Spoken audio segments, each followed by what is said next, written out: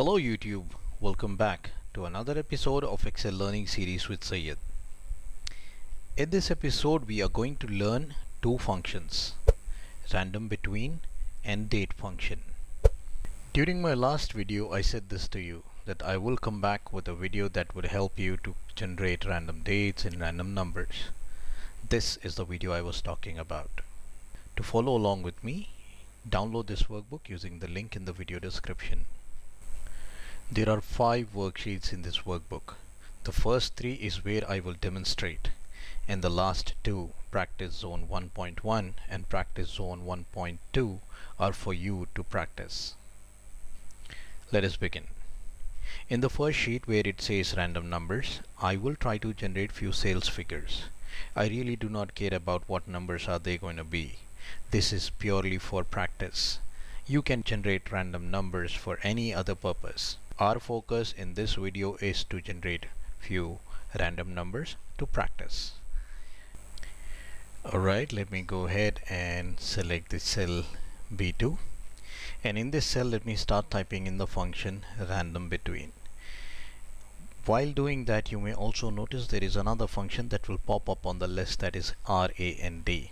This function is designed to return numbers between 0 and 1 that is greater than or equal to 0 and less than 1. You may try that function, try exploring that function on your own in case if you get stuck, don't worry.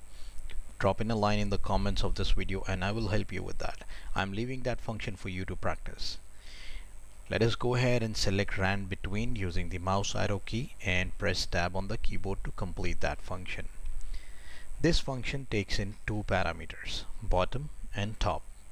Bottom is the smaller number and top is the bigger number. Where do you want the numbers to start from? Say I would like them to start from 1 1 1 1 and where do you want the numbers to end? 9999 so I would like all the numbers to be between these two figures. That is starting from 1111 and going up to 9999 any number between these numbers randomly. So let me press enter on my keyboard. That's the random number. Let me get rid of these decimal points. Now all I need to do is drag this across and drag this down. See that we have perfectly generated random numbers. Here is a quick catch the moment I make any changes in the workbook even if I just type in a letter inside my workbook and press enter see what happens in, the, in this section. Notice closely. All the numbers change. Every time anything you perform inside this workbook these numbers would change. They get refreshed. If you close the workbook and open it back you will notice the numbers would change again how can I make sure that these numbers do not change again? Let me do that. All we need to do is copy these numbers control C paste them back control V and in this control handle select values only. There we go. Now they will not change because we do not have the formula anymore in these cells. So this is how we generate random numbers now let us take a look on how to generate random dates. Let's go to the sheet random dates 1.1. In this sheet I have two columns and a start date and end date cells. Say I would like to generate dates between certain dates. For example, let's say I would like to generate dates between 23rd of November 2006 and 24th of December 2017 now let me go ahead and select this cell and in this cell I will type in random between function and in the bottom number I will select this cell. That is the starting date since the starting date is smaller than the ending date. So before I insert comma let me make this cell as an absolute reference. Pressing the F4 on the keyboard will make this cell an absolute reference. That means if I drag this formula down the value D3 will not switch to D4 or D5 or D6 it will remain on D3 so this is how we lock it on D3 now press comma on your keyboard and select the top number. Press F4 again to make this one an absolute reference and close the bracket. Press enter on your keyboard. Now this is a number format of date. Let me change it to date.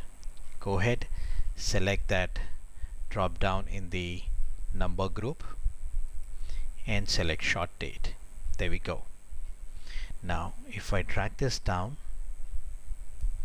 I have all other contract start dates generated for me randomly between 23rd of November 2006 and 24th of December 2017 to ensure that these dates do not change each time you make any change in Excel press Ctrl C while these cells are selected to copy them and press Ctrl V to paste them back in the same place and click on the control handle here. Select paste values only. This will remove the formula and you will have these dates retained no matter what you do unless you delete them. Alright so this is how we generate dates between two dates using random between. Let me quickly show you what happens if I do not use the absolute reference just to ensure that you gain the clarity about it. I select this cell type in random function again rand between start date I select this one. This time I am not locking them using the F4 key. I press comma, I select this date and close the bracket and press enter on the keyboard.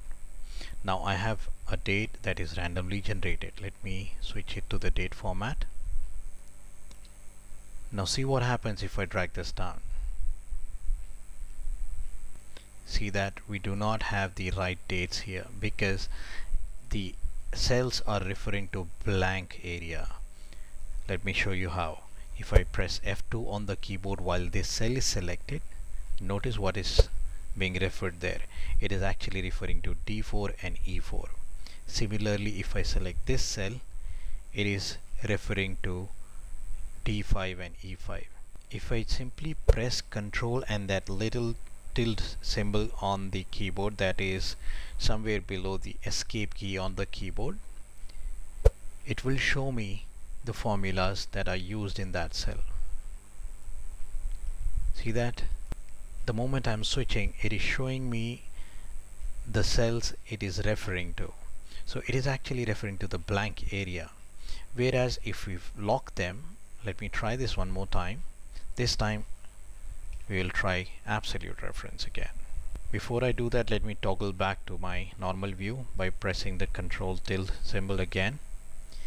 And this time random between start date F4 on the keyboard to lock it then end date and F4 on the keyboard to lock it and close the bracket now if I drag this down you will notice I will have perfectly generated random numbers this is the reason why we have used the absolute reference. I hope you will find this reference very helpful while doing other calculations inside Excel. Now let us go ahead and try generating some random dates using the date function. Date function comes in very handy when you would like to take three separate values and combine them to form a date. Let's take a look. Here I will generate random year numbers using the rand between function and I would like to say generate years between 1990 and 2010 close the bracket press enter drag this down I have random years. Now I need random months. So again rand between. Bottom number starting from 1 going up to 12 months. Press enter. Now drag this down.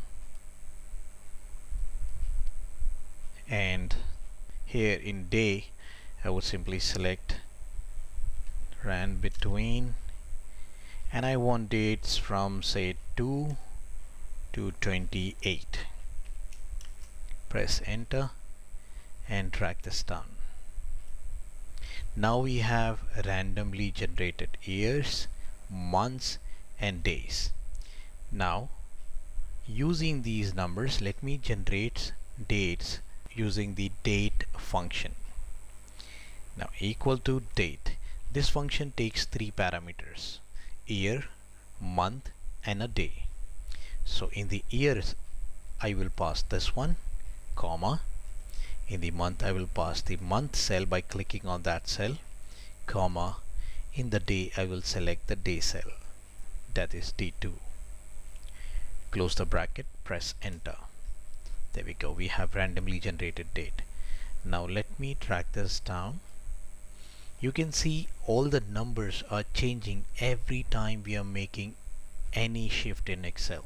So let me go ahead and select these randomly num generated numbers. Press ctrl C on the keyboard and ctrl V to paste them back on the same position and this time select values only. Now this should not change. We have generated this date using a date function and the separate values presented in three different columns for year, month and day. How about trying the same thing using a nested function? If you recall from your past learning, we have discussed nested functions in a separate video.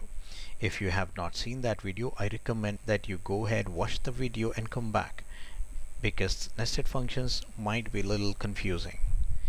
So here we go. We start typing in date function. In the year area I will type in random between function. This is a function inside a function.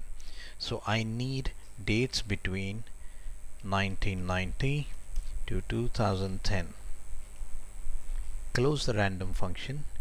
Notice the selection of year is still bold. Now after I insert the comma you can see the selection has shifted to month now I need to pass in the month values. So random between 1 and 12 now it will shift to day the moment I insert a comma. See that? Now I need random between 2 comma 27 close the bracket. This is the bracket of random between. Now I need to close the bracket for date function now before I press enter let me tell you what is happening here. We have used the date function and inside date we have called random between three times. The first time we have called random between is to pass the value for year between 1990 and 2010.